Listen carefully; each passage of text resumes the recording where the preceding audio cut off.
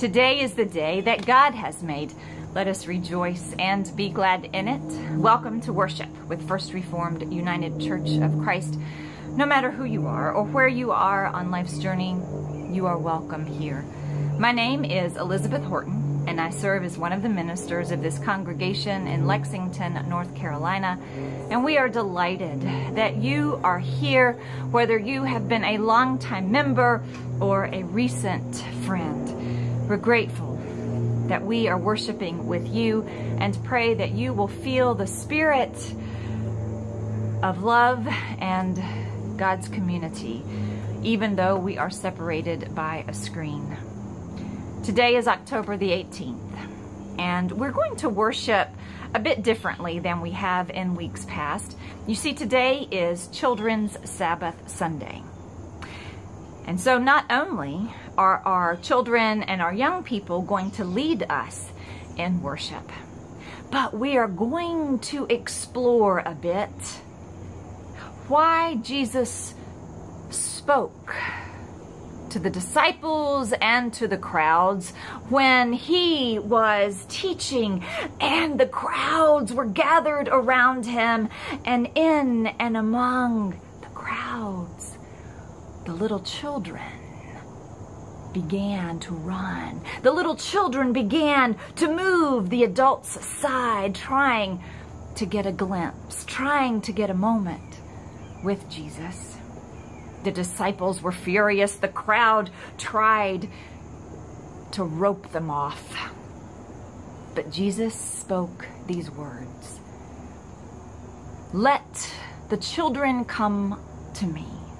Let the children come to me, do not hinder them, for it is unto such as these that the kingdom of heaven belongs. Do not hinder them. Jesus told the disciples, Jesus told the crowds. And so even with the temper tantrums of toddlers, even with the egregious eye rolls of the tweens, even with the stubborn streaks that teenagers possess. Jesus said, Let them come to me because it is to such as these that the kingdom of heaven belongs. And so today, let us look at what is it in this world that hinders our children? What is it that we are doing? What is it that is happening in our world, in our nation, in our cities, and in our communities that is hindering the children from becoming the precious and valued people that Jesus believes that they are? What hinders the children? From becoming, from transforming into who God is creating them to be. What hinders the children? And so, let us, let the children and the young people come. And let us worship God together. Amen.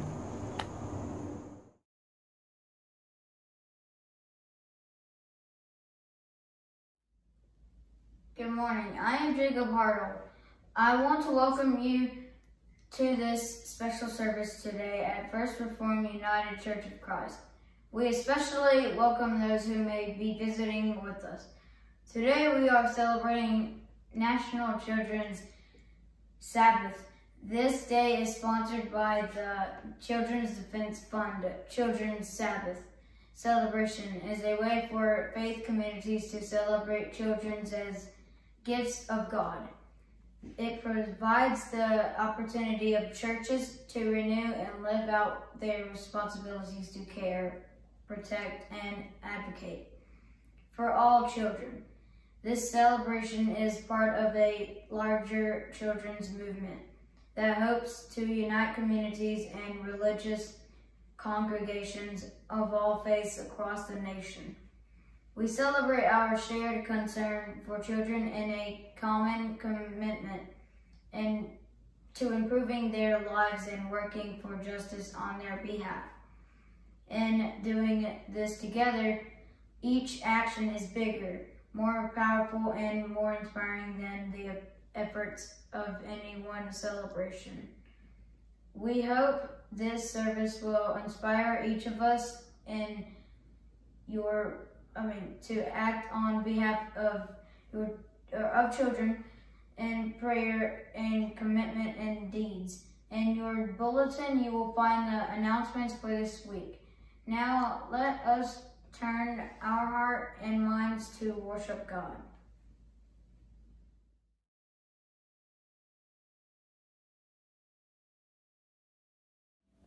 Let us pray. Gather us, O God. Bring us together to live with your love. Gather, gather our minds, O God, to, fo- to focus on you and your children. Our wills, O God, to be strong and brave. Help us to seek just, justice. Make us one in heart, mind, mind and spirit. As we worship you today. Come, let us worship God.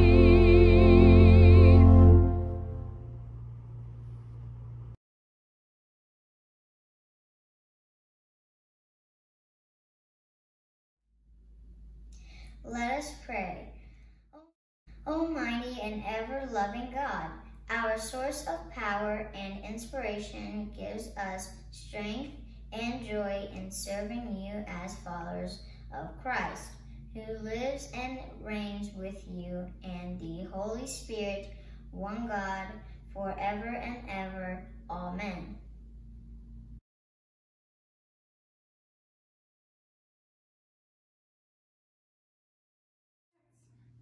Our first scripture reading is from Isaiah 43, verses 1 through 7. Listen for God's word.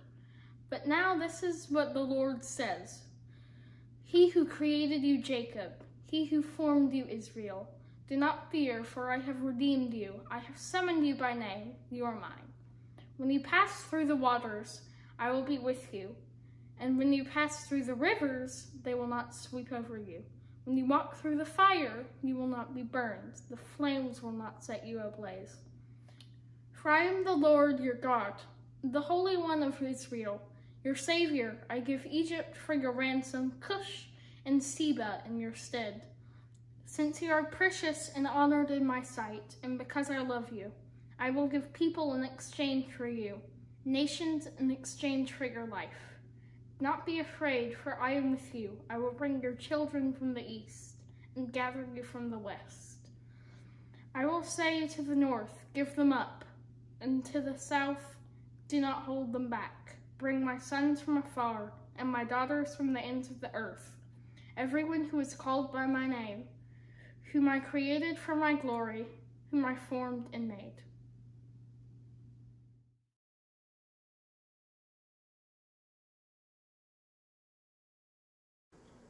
And now let us pray the prayer of confession together.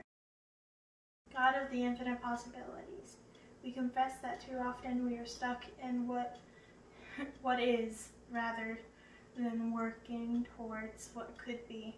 We doubt we can make a difference, and so we just try to get through the day. We become overwhelmed by pain, problems, and the pandemic, and want to hide our hearts, sit on our hands, and wait for it to end. Forgive us, O God, for living too, too little in the largeness of your love. Fill us, fill us, we pray, with courage, compassion, vision, and determination to embody your love, seek your will, and strive for justice, that we will enable all children to, th- to thrive and live with joy in the fullness of life that you intend. These things we pray in the name of your child, Jesus. Amen.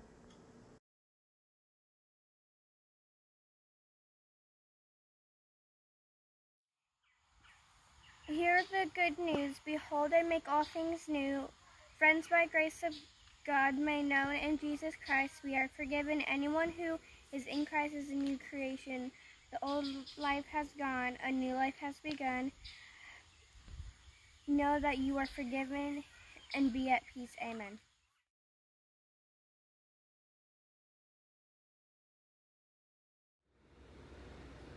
This morning we're going to do something different. For passing of the peace, we're going to learn how to say peace be with you and also with you in American Sign Language. Peace, be with you and also with you. Let's do it again. Peace be with you and also with you. Peace be with you. And also with you.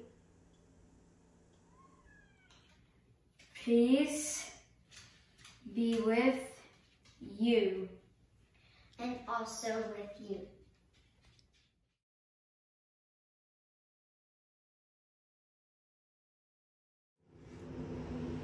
In the Bible are the words of one of God's special helpers we call Isaiah, who told people God's message. This Isaiah was speaking to families who were having a very hard time. Some of them were far from their homes, and everything seemed different from what they were used to. Some were hungry or sick or didn't have any work to do. Grown ups and kids were feeling sad and scared. Isaiah told them that God's message was don't be scared. I've called you by name. You belong to me. God said, even enduring the scariest times, I will be with you. God has called each of us by name. You belong to God. God will always be with you. Then Isaiah told the people God had a hopeful message for them. God said, I am creating something new. There it is. Do you see it? God wanted the people to use their imaginations to try and see the new world that God was creating. When things would be better in a scary or hard time, or hard time. God wanted people to see pictures in their minds of the world God wants. We've all been going through a hard time, kind of like the families Isaiah was speaking to. For lots of kids, school is different and they haven't been able to play with their friends. Lots of people are getting worried about getting sick. Some parents don't have jobs anymore. Lots of us are upset when people are treated unfairly because of the color of their skin. I think God would like us to use our hopeful thoughts to imagine what it will be like when things are better and more fair for people, especially for children. Let's all close our eyes and imagine. I can imagine a time when all children can go to school. safe schools, and play with their friends. There it is. Can you see it? I can imagine a time when people aren't worried about getting sick and don't have to wear masks anymore. And anyone who is sick gets good care from a doctor. There it is. Can you see it in your imagination? I can imagine a time when parents have jobs and their homes and food for every family. There it is. Can you see it in your imagination? I can imagine a time when everyone is treated fairly and kindly, whatever color of skin they have, and everyone knows that all colors of skin are beautiful. There it is. Can you see it in your imagination? The world is different than the hopeful pictures we saw in our imaginations. But on the Children's Sabbath weekend, our church and people who love God everywhere are saying that they are going to be God's partners in helping create that hopeful future for all children. Let us end with a prayer. Dear God, thank you for promising us that you will always be with us, even during scary times. Thank you for reminding us that you are creating something new. Help us to keep using our imaginations to see a better world for all children. Thank you for our church on this Children's Sabbath that will be your partner in making our world better. Amen.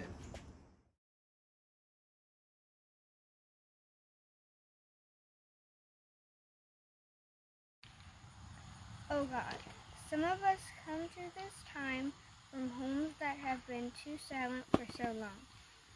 Others of us come from non-stop noise and days of distraction. Whether from solitude or chaos, we long now to hear your words to us, for us.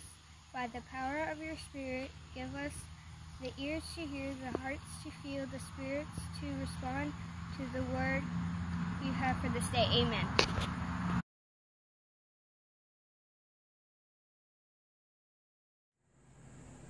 Join me for the prayers of the people. Let us pray. O God, you hear our prayers, whether we are young or old, rich or poor, bold or quiet, confident or not. Whether the prayers are spoken aloud or whispered in our silence of our hearts. Hear us, each of us, all of us. God, hear our prayer. We pray that you will help us truly be your church by living into your upside down kingdom where the last are first and the least are lifted up. God of all, hear our prayer. We pray for our world, our whole huge hurting world, with the cavern stretching between the wealthy and the poor those with easy access to education, and those for whom school is just a dream. Those whose childhood is a time of learning and play, and those whose childhood is a time of work and worry. Who help us close those gaps with justice and compassion. God of all, hear our prayer. We pray for ourselves, for the love that embraces children, for hope that presses us forward in seeking justice and faith that guides us. God of all, hear our prayer. These things we ask in the name of the one who taught us to pray. Our Father, who art in heaven, hallowed be thy name. Thy kingdom come, thy will be done, on earth as it is in heaven. Give us this day our daily bread, and forgive us of our debts as we forgive our debtors. And lead us not into temptation, but deliver us from evil. For thine is the kingdom, and the power, and the glory, forever.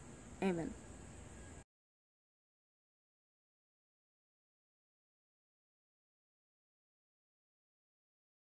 Our New Testament reading comes from Matthew 22:15. Listen now for God's word. Then the Pharisees went out and laid plans to trap him in his words. They sent their disciples along with the Herodians. Teacher, they said, we know that you are a man of integrity and you teach the way of God in accordance with the truth. You aren't swayed by others because you pay no attention to who they are. Tell us, what is your opinion? Is it right to pay the imperial tax this season or not? But Jesus, knowing your evil intent, you hypocrites, why are you trying to trap me? So many coiners were paying the tax. They brought him a denarius and asked him, Whose image is this? And whose inscription? Caesar's, they replied. Then he said to them, So give back to Caesar what is Caesar's, and to God what is God's. When they heard this, they were amazed, so they left and went away. The word of God for the people of God. Thanks be to God.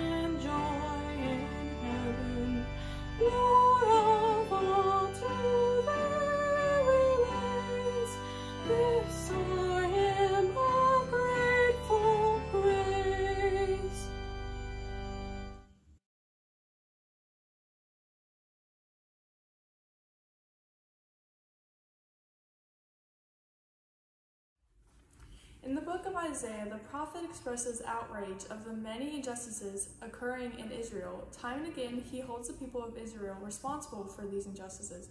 During this time, the city of Judah was in ruins. Their temple has been destroyed. Additionally, the leader of Judah and most of the, of the public were exiled in Babylon. Despair was everywhere.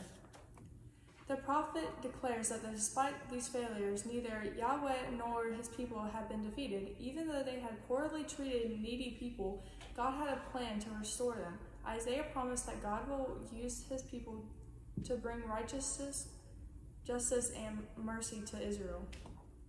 Throughout the scriptures, there are many themes that occur. The first theme centers around human sin and God's desire for justice.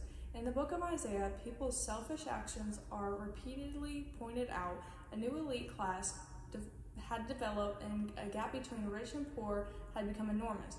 Greed for material possession for material possessions blinded people, while those who were poor became hungrier. Widows and orphans were mistreated. Innocent people were abused, and many people were dishonest.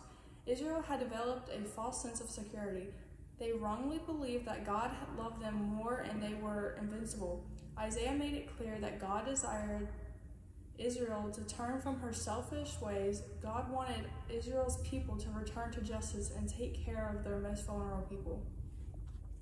A second theme that exists in God cannot be stopped or controlled. The book of Isaiah showed us that God is interested in areas including society, economics, and politics. Additionally, he is very present in personal areas of prayer, friendship, fam and family life. God is the most powerful being, therefore neither humor, human nor their false idols can, can control or trump over him. No force of nature can compete with him. No display of greed, fear, or cruelty is stronger than God's ability to overcome it or create a true good from it. Because of his power, God can act in surprising ways and use unexpected events or people to teach God's people. Individual, individuals who appear strange or foreign to us, like Cyrus, can be messengers of God, redemption, and God's blessing. The third theme that is presented in God's abiding love for his people. According to Isaiah, God sends his people into exile in order to discipline them. Regardless, he does not forsake them. God's actions in the scripture occur in order to restore Israel. Throughout her exile, God continues to work for Israel's transformation of being of being a community of righteous people. Because of his love for them, God will never abandon his people. Our final or fourth theme from the scripture is the need to stand strong in the face of injustice. Since the time of Isaiah, when people were dealing with desperate situations, people have wondered whether forces of evil, bad luck, or blind fate has taken control over their lives. When, when violence or tragedy occurs, often good people ask if God has forsaken them. It is tempting and even understandable to give in to that despair, to this despair. This is a practice that still continues today. Regardless, as people of faith, we are still called upon to make a different choice. We are called upon not to give up, but to stand strong while we address the injustices. We are called upon to proclaim our Christian beliefs in order to work towards justice over evil. We are meant to imitate Isaiah's unyielding conviction that God's final plan is restored.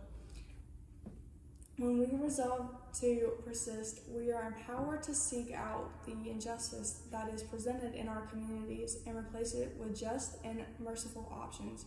As God exposes our failures, our trust in God allows us to use His tools of truth and justice to act out as agents of restoration.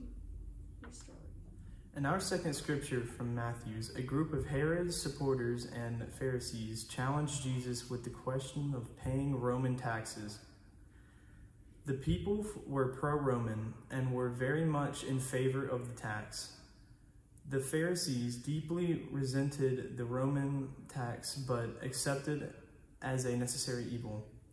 The Pharisees consult, consoled their people to go along with the tax, but they viewed it as an unjust burden.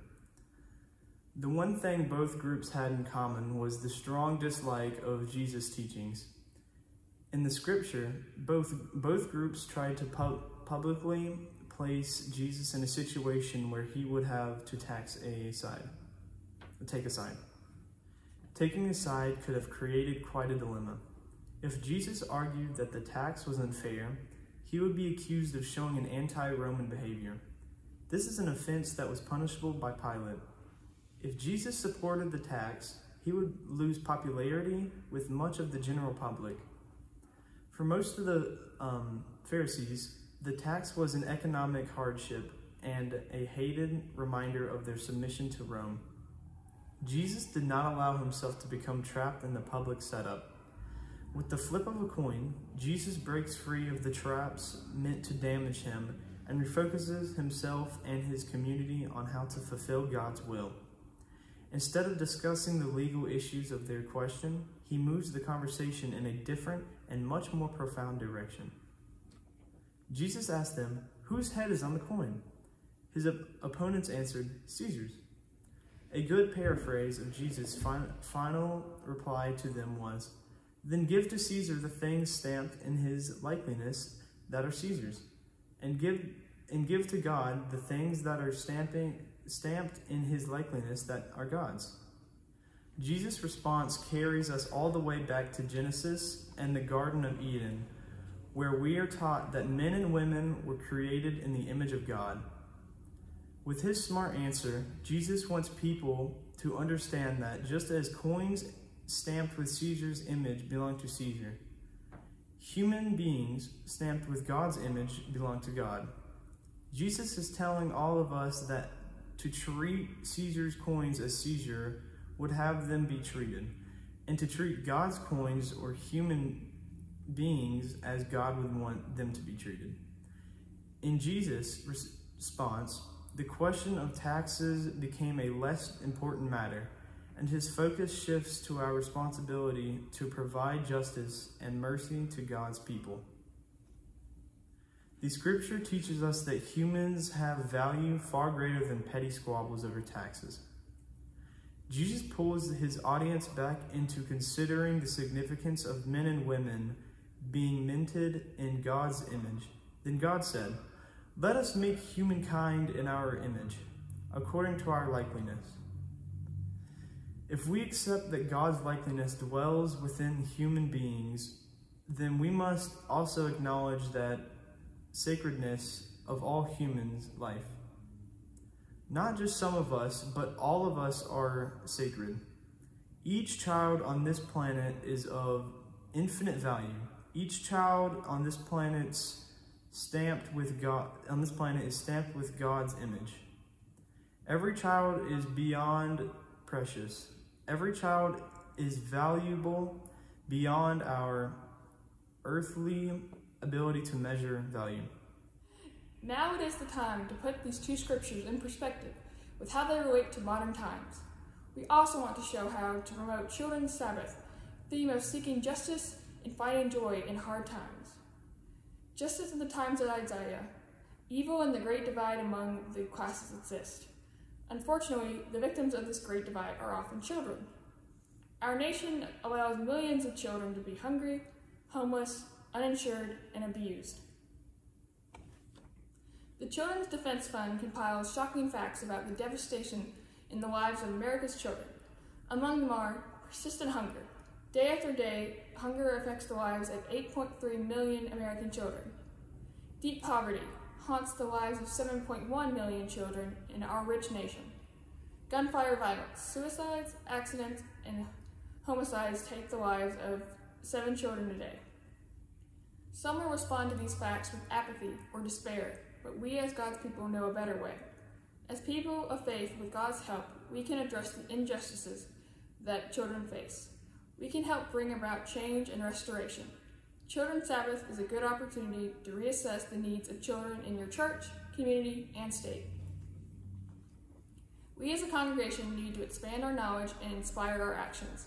We need to emulate persons such as Bishop Desmond Tutu, Dr. Martin Luther King, Mother Jr., Mother Teresa, Mahatma Gandhi by becoming agents of transformation. Some of these were Christians, some, like Cyrus, worshipped other gods, but the presence of God in their lives were unmistakable. Like them, we need to call, be called to be God's agents in the world. We don't need to be perfect, we need to be perfectly ready to act. We are all called to participate in God's plan of compassionate restoration. God never forsakes us, and we need not forsake each other. It is the responsibility of every, per- every person of faith to participate in God's restoration of the world. When we do God's will by acting with justice, mercy, and compassion, we end up changing lives for the better, often changing our own in the process. We are asking all of you today to look for additional ways that we can change the lives of children for the better.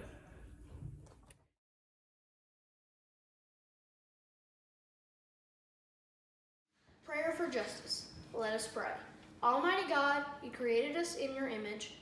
Grant us grace fearlessly to contend against evil and to make no peace with oppression, and that we may reverently use our freedom. Help us to employ it in the maintenance of justice to the glory of your holy name. Through Jesus Christ our Savior. Amen.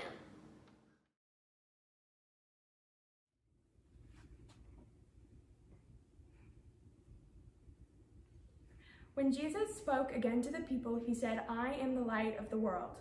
Whoever follows me will never walk in darkness, but will have the light of life. Let us take his light from our sanctuary to our homes and out into the world to do God's work and promote better lives for children.